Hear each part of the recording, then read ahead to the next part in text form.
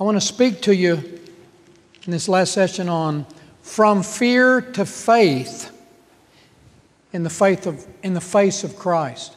From fear to faith in the face of Christ. Or if you wanted a simpler title, Faith Up, Fears Down. One thing of mortifying sin is killing our fears. I want to speak on fear and replacing with faith today. Let's read two from two Psalms. Psalm 34. We read it earlier this morning, the, the whole psalm. But I want to read three verses Psalm 34, verses 4 through 6. Psalm 34, 4 through 6. I sought the Lord, and he heard me and delivered me from all my fears. They looked to him and were lightened. Their faces were not ashamed. This poor man cried, and the Lord heard him and saved him out of all his troubles. And then Psalm 56. Psalm 56, one verse, verse 3. What time I am afraid, I will trust in thee. Fear or the choice of faith. About four years ago, I got the news that in six weeks I would have a second open heart surgery had one, I don't know, 10 years earlier, and fear came.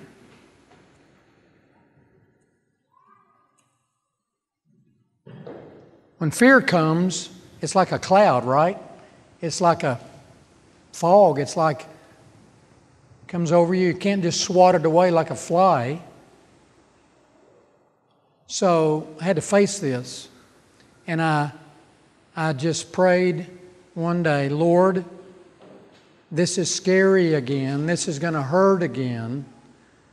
Um, I'm insufficient. I'm inadequate. I can't, I can't get through this in victory without you helping me.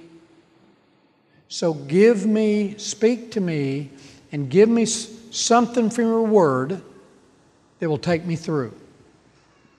See, we can either choose to yield to our fears and sink in discouragement or depression or anxiety, or we can choose another path. Lord, please help me. And what I'm saying applies to every one of you universally. So, God gave me two scriptures that came alive just in my normal course of Bible reading. I didn't run to uh, another book. I didn't go searching for something. My morning readings, as I read, two scriptures came alive. And the main one was Psalm 56, verse 3. I came one morning, a few days after the news, to Psalm 56, and as I read, I read verse 3 boom. It was a rhema to my heart. There it is. What time I am afraid? Well, there's going to be opportunity. Night before the surgery, I didn't sleep much. Had to be up there at 5 a.m. getting prepped. Fear, fear rises. Going under the anesthesia, still conscious, fear rises. Coming out, the 12 hours when you're kind of groggy and you're hurting and you can't breathe and you have claustrophobia and you don't even, fear rises. Every single fear that week that came, that verse came to my mind. I couldn't pray it out loud. I had tubes and, but in my mind and heart, I prayed it. Every time peace came. Every time. So I want to talk to you about your fear.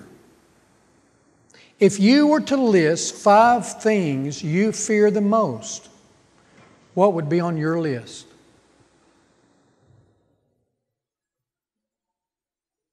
Make the list in your mind, make it later on paper. What would be on your list? Every one of you's got a list. Edmund Burke said, No human passion so much robs our mind of acting and thinking rightly as fear. Fear is a thief, it's an enemy, it's a confuser, confusion.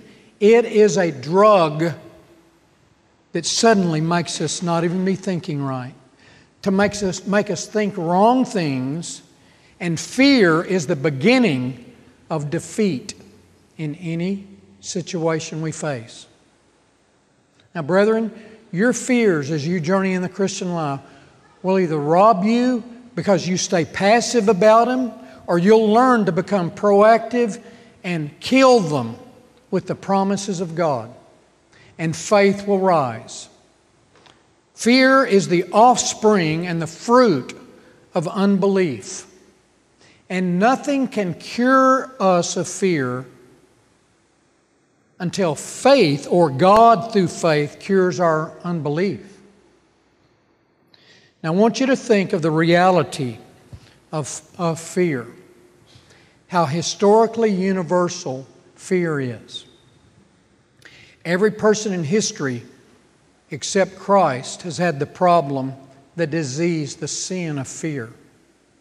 And even the Lord Jesus humanly had a holy, pure, not sinful dread and fear of the cross in the garden, didn't he? He didn't want to experience, he didn't want to drink the cup. So the horror of it came over him and he experienced it, but he didn't yield to sin in that. But universally, every person who's ever been born has fears. John Flavel, the Puritan, said, It cannot be said of anyone that he or she is without fear.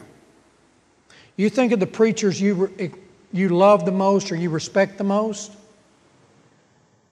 They're human beings that week in and week out will struggle with fear about something. Fear will come on them. Flavel said, even the most courageous have fear at times. Now think about it. What all kind of things do we fear? We feel thing, we fear things, we, we fear people, the fear of man's a snare, the Bible says. We fear speaking up in public around others. We fear praying out, praying in a prayer meeting when we ought to pray, even though we're a Christian. We don't pray out loud because we fear being judged. We fear being unspiritual. So we give in to the fear. We fear people dressed like clowns. Any of, a, any of you have that fear? See, there, there's weird fears. We, some people feared dolls. They, they couldn't sleep in a room with a bunch of dolls up on the shelves. They're staring at me. I, I, you know, fearing dolls, really? Yeah, we fear a lot of things snakes, storms, and lightning. I read one time that Jonathan Edward would take prayer walks during lightning storms. I tried it once, it didn't work. I ran in the house real fast. I said, maybe I can just stay out here like Edwards. I couldn't. I didn't, couldn't handle it. In May of 2015, James White, the apologist, came to our church for one weekend. In the springtime is Texas's Tornado Alley, right? Now that alley is widening. Alabama gets some, Mississippi, you know, all over. But so here we are, and he preached, finished the ministry on Sunday. He's at our house for lunch, and the tornado siren goes off. You remember this? He, Jesse wasn't there, but he, he, he wasn't at our house for lunch, but the siren goes off, and uh, so we find out that a tornado on the southwest corner of Denton is, is moving across Denton, right low to the ground and it's going from the southwest to where we live, the northeast corner of Denton. So You know, James is cool, calm, and collected. He said, in his manner, What, what do we do? and he was one to run to a basement, or, and Linda said, Well, only thing to do is get in the hall and cover yourself up with a mattress. He said, Is that all? So the tornado passed. We sat down at lunch and had, had lunch. But, you know, the reality is whether it's a tornado warning or something in your mind you can't get rid of, we battle so many fears we can't control. But we can learn by God's grace and getting our mind renewed to respond rightly to fear. And we can conquer fear conquering us. Because fear, we can't control it, but we can, we can and we are to control our responses to it. Fears like divorce has happened in my family. Could it ever happen to us? I'm, I'm divorced, and my mate was the one in sin when I was faithful. Can I ever be married again? Fear of walking alone the rest of your life. Job security. How are we going to provide for all these children? I don't make enough on paper. Everything in life aims to produce unbelief and fear in us. Everything breeds it. Like John Piper said, um, godlessness is in the air we breathe in America. Everything in America, the air we breathe and the society we live in, and the whole culture will breed fear in us if we let it. Our hearts our unrenewed minds, things within us in our hearts like gravity pull us toward fear. Things without, outside of us, try to pull us to fear. People can try to make you afraid, either on purpose or unconsciously. Trials and circumstances, demonic assaults, discouragement and depression, stress and pressure, all kinds of things attack you with a goal, with an end goal to make you fear, to push you into fear.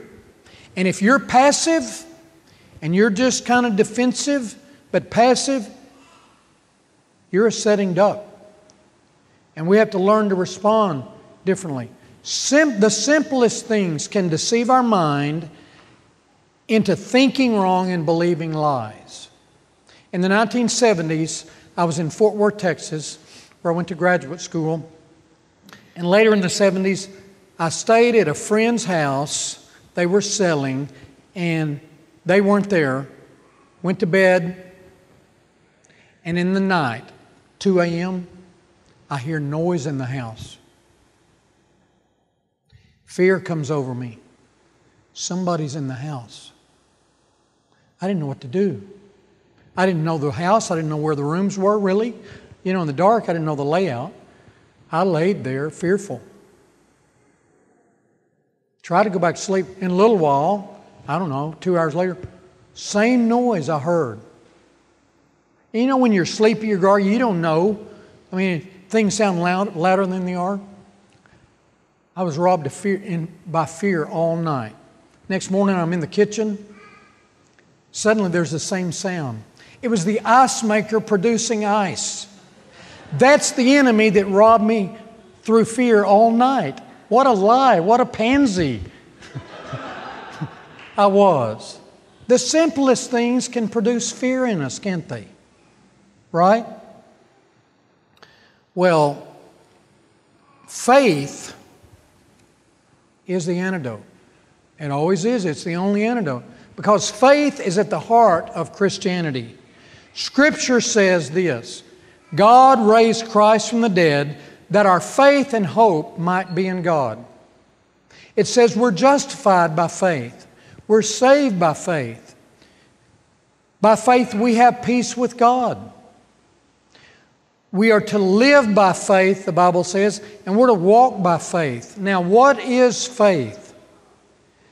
In the early years of my Christian life, this was such a confusing topic. I would hear men preach about faith, I would read it in the Bible, and I, I honestly couldn't, I could not come to terms with what, what is faith really? Is it something I'm just to produce?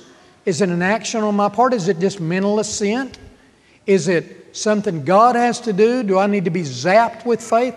I couldn't figure out how to understand faith. I really couldn't. It was a long battle for me.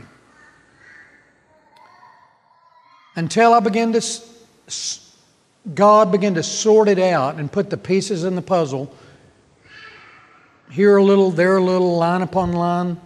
And I finally began to have my fog cleared that faith is not mental assent, it's not intellectual agreement with facts. It is personal trust and dependence on Christ.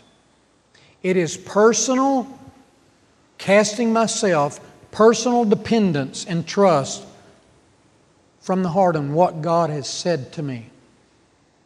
Faith. Without faith, it is impossible to please God. Faith is at the heart of Christianity. Christ is the object of our faith. He's the object of all faith. We don't put faith in our faith, we don't put faith in our repentance. Christ is the object of our faith, but the only way to Christ, the only means of getting to Him is faith. It's faith that unites us to Christ. It's faith that is the means to justify us. And it's by faith that we lay hold of Christ. In living by faith and conquering fear, what characterize, characterizes faith? Let's think for a few minutes here about what is the nature of a believer's trust in the Lord. Because it's good to be clear on some things about what, what faith is and what it's not. Let me say f- first faith is a difficult thing. It's not an easy thing to trust God. It can be a real battle, it's difficult. If it weren't difficult, why don't we all do it well?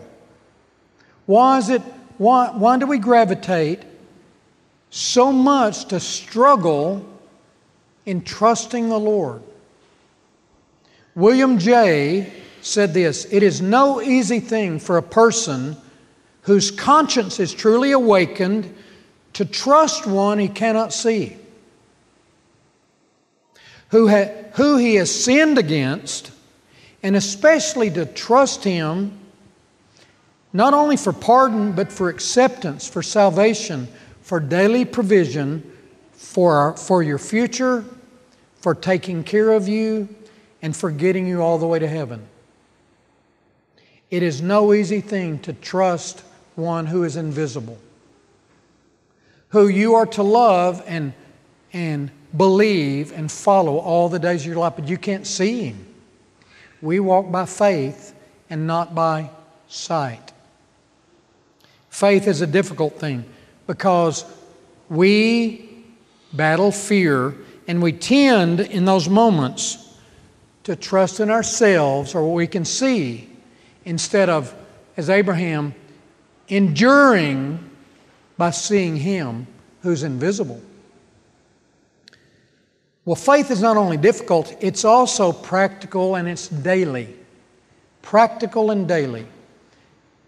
We can tempt God in a thousand ways, can't we? But we can only trust God in one way daily obedience, trust, and dependence. A life of faith is a narrow path, and it's not complicated, but it's not easy. We can tempt God in a thousand ways, but there's only one way to live a life of faith daily obedience and trust and dependence. Our head, that is our brain, our mind, does not, it's not the thing ultimately that exercises faith. Faith comes by hearing, and hearing when God speaks to us, but from the heart man believes. Romans 10 says. We believe Christ, we believe God when our hearts believe and trust in what God has said to us. Also, faith is perpetual. That is, it never is to end, it's continual. That's why the Bible says, Trust in Him at all times, ye people. Pour out your hearts before Him. There's never a moment, there's never a waking moment. You can probably even ask God to let you trust Him in your dreams and in your sleep. You ever pray for good dreams? My granddaughter often says, Papa, would you pray for me that my dreams would be good? You ever commit your sleep and your dreams to the Lord? There's not a moment, whether waking or sleeping, but certainly whether waking, that we're not called to abide in Christ and trust Him, living a life of faith. Because fear flees when faith acts. Fear goes down as your conscious trust and dependence goes up to the Lord. Now, faith is also extensive. That is, we're to trust the Lord in all things. You can't trust God with your marriage and not in your, with your job and career. You can't trust Him in spiritual things and, and not trust Him in the secular. And there's no divorce between the sacred and the secular. All of life is the Lord's. All of life is to be lived for His glory. You can't categorize or com- compartmentalize. I'm, a, faith here to trust God and walk with Him in this area and not over here. No. All of life we're called to walk by faith and live by faith daily in all things, in all circumstances, for every need, in every opportunity, for all things past, present, and future. Now, beloved, that gets that's a big challenge to learn that because before your conversion, all you did was depend on the world and others and yourself, and now you're re- you talk about rerouting. You talk about your GPS being messed up. You got to reroute your whole life and shift from trusting man or yourself to trusting one you can't see. This is a big deal. This is extensive. This is not tuning the engine, it's getting a whole new engine. So the, think about the disciples on the sea. The Lord Jesus was always calling them to trust Him, to believe Him. And the two things the New Testament says Jesus was amazed by were what? Unbelief and great faith. Those were the two things that always amazed him. Can you imagine what Jesus felt and thought when he was amazed suddenly? He suddenly experiences amazement. I wonder if he rolled his eyes. I wonder if he said, I wonder if he just was in wonder and awe. I wonder if he uttered a prayer to his father Father, what do I, I, I just can't believe this. Father, what do I do? What do I say? He was always dependent on his father. But he was amazed by unbelief and he was amazed by great faith. So here the disciples are on the sea, experienced fishermen. The storm is raging. They're very afraid. And one time, Jesus, asleep in the boat, rises, stops the storm, and he asks him a question that, if I were asking the, answering the question, it'd be like, man, I'm glad I didn't say what I'm thinking because I'd probably show myself to be a fool. What did he say to him? Why are you afraid? Didn't they have a right to be afraid? Didn't they have an excuse to be afraid? Isn't it justifiable to be afraid? But Jesus goes right to the heart of it. He's in the boat. Why are you afraid?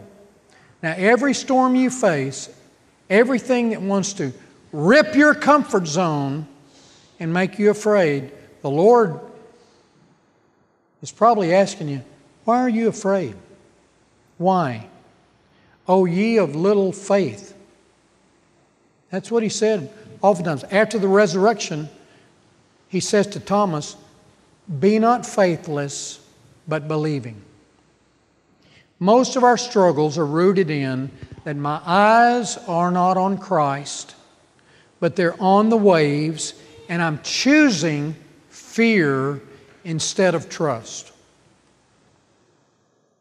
Think of even a few promises God has said to you. He's already said these to you because they're in your Bible, they've already been given to you. Learn them, milk them, pray them, use them, meditate on them because they're the only antidote, they're the only antibiotic, they're the only medicine to apply to fear. I am with you to the end of the age. I will never leave you nor forsake you. The Lord is my light and my salvation. Whom shall I fear? The Lord is the strength of my life. Of whom shall I be afraid? Fear not. I am the one who helps you, Isaiah wrote. Fear not, little flock, it's your Father's good pleasure to give you the kingdom. What all's in the kingdom?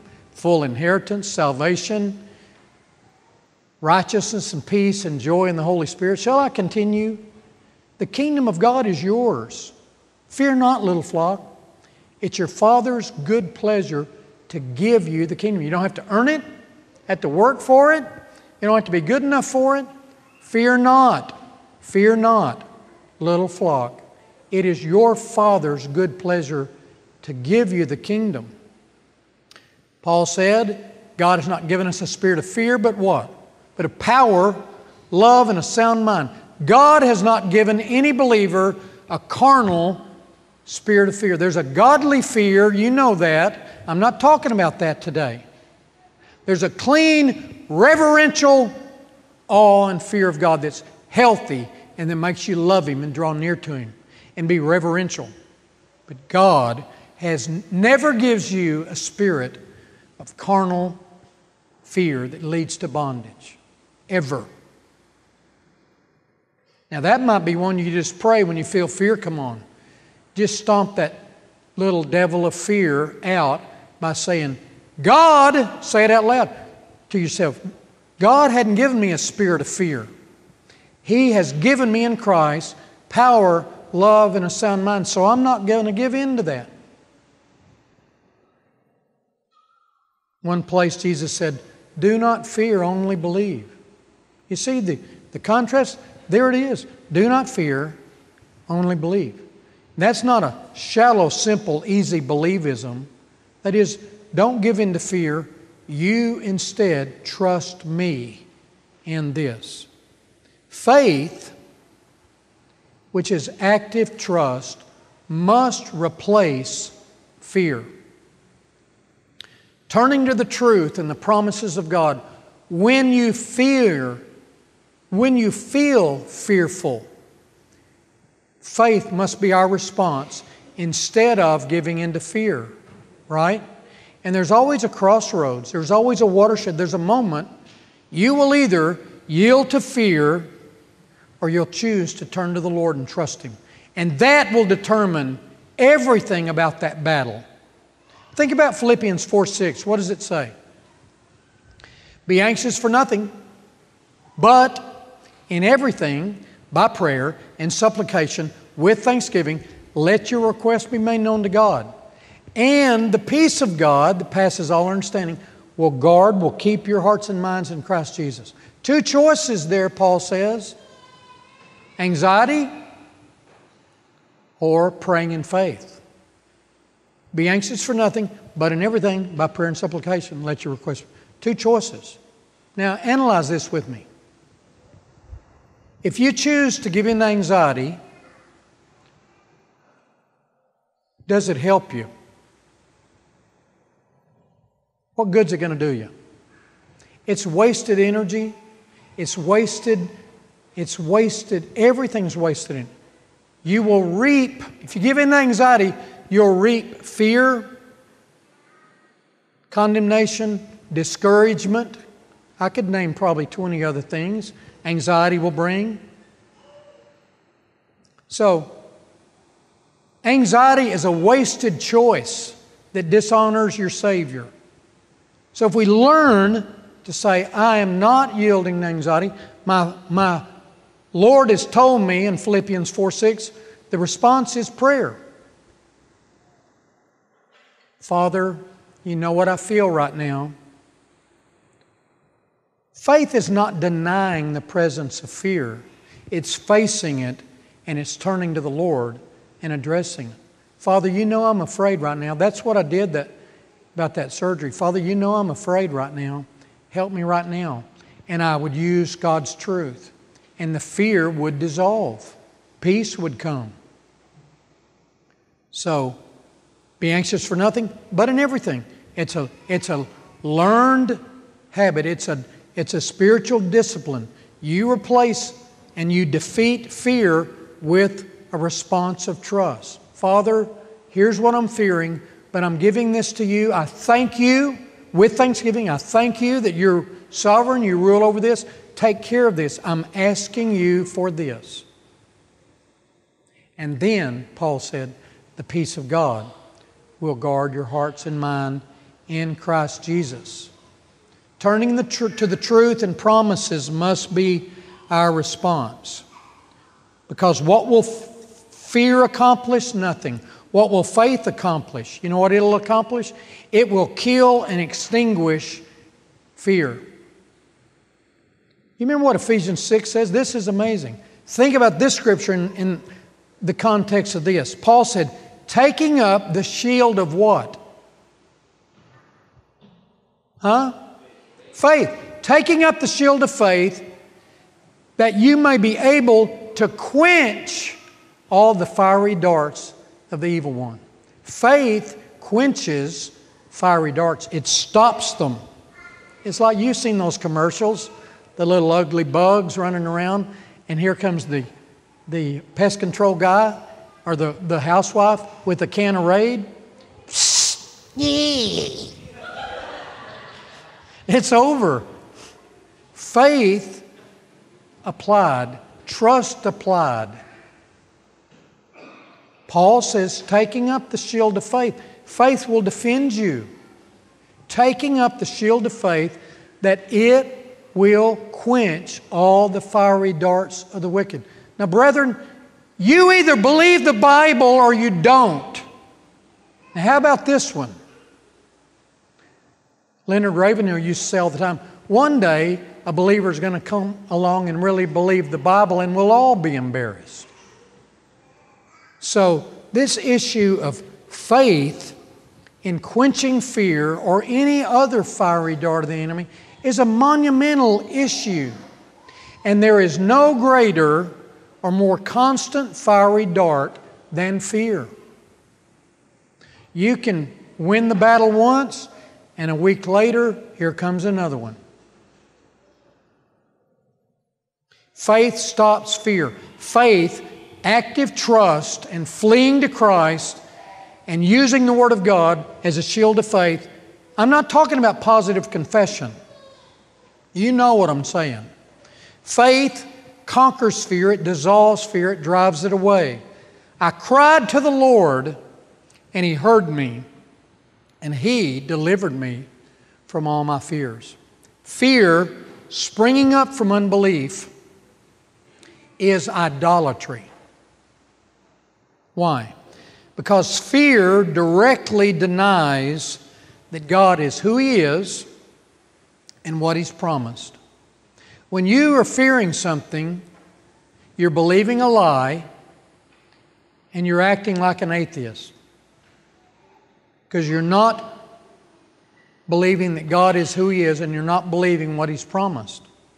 We fear things down here so much because we fear and believe God so little.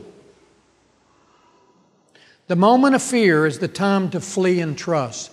The moment of fear is the time to flee and trust. What time I am afraid, I will trust in you. The moment of fear is the time to trust. The Scottish pastor Maurice Roberts said this. This is wonderful. Listen to this. Fear or panic is the sinful failure to apply our knowledge of God to particular problems. Fear or panic is the sinful failure to apply our knowledge of God to particular problems. Or, as the hymn writer Anne Steele said, this only can my fears control and bid my sorrows fly. What harm can ever reach my soul beneath my Father's eye? Now, sister or brother, what harm that your Father doesn't want in your life can ever reach you?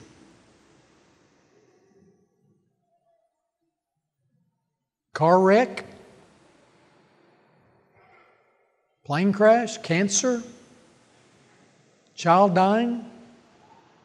What harm that your Father doesn't want for you can ever reach you? Leonard Ravenhill also said, by the time a situation gets to you, it's God's will for you. Meaning, God has allowed it.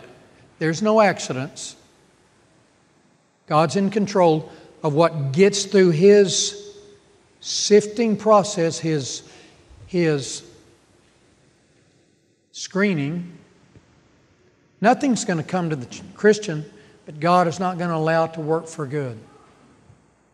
Paul asks and answers in Romans 8 Can tribulation, can distress, can persecution, can famine, nakedness, danger, death, life, things present, things to come? Nothing, nothing can separate you from the love of God. Now, let me apply this to us as I begin to wind toward my close. Fear is an ongoing battle for most of us. For some, it's a stronghold. Some of you, this is your biggest battle. Others, it's just an annoying, continuing area of sin and battling to trust God. But, beloved, whatever level it is for you, we must face the issue of fear if we're going to conquer it. We must learn to face every fear and not be passive. We must learn to conquer fear with trust and dependence. Are you afraid of your fears? What do you fear? We must realize this and go to war in our sanctification with this enemy fear. Because I promise you this the Word of God and the gospel and the Spirit of God and all our inheritance in Christ and all the resources we have, God wants to set us free progressively from fear robbing us or defeating us. Our text said, I sought the Lord and He heard me and delivered me from all my fears. Christ wants you free from fears that rob you. He really does. He can, He will set you free. Only, the, only grace through you believing the promises of God and the power and dependence on the Holy Spirit, only that reality can diver, deliver us from fear. Right in the middle of the Bible, it says it is better to put your trust in the Lord than in men. It's better to trust in the Lord than in princes. That's right in the heart of the Bible. You know what one of my greatest fears is? I've said this to my wife before. I don't express it often. I probably need to say it more. One of my greatest fears is soon whether that's five years, 10 years, I don't know. Leaving my children and my grandchildren in this world without us being here.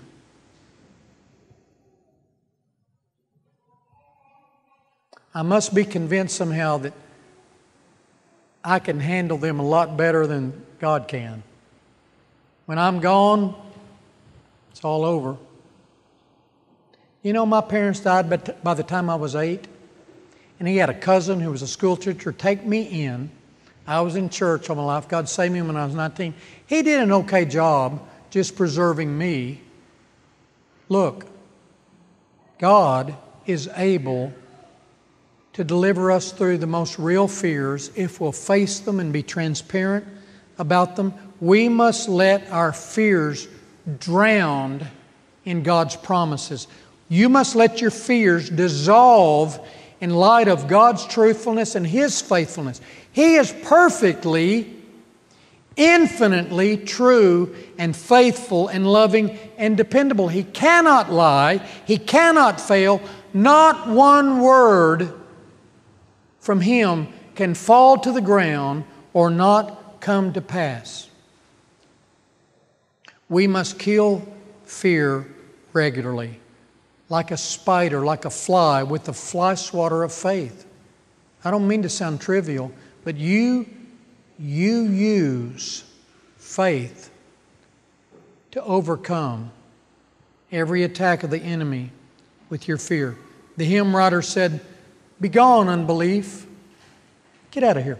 Begone, unbelief. My Savior is near, and for my relief shall surely appear. And then the, it says at the end of it, with Christ in the vessel, I smile at the storm. I smile at the storm. I promise you, beloved, you feed on the promises of God, you face fears, and you attack them in prayer and applying the truth. When fear, when you feel fear, Lord, what time I am afraid, that's now. I trust in you instead of giving into that. You feed on the promises of God, and, and your soul is strengthened by grace. You're killing fear. And fears will fall off, and the peace of God will rule in your hearts and minds more and more by Christ Jesus. What do you have to fear if Christ is with you and in you and ruling over everything about you? Not one hair of, the, of your head can fall to the ground. I've had a few fall to the ground. Not one of them without my Heavenly Father.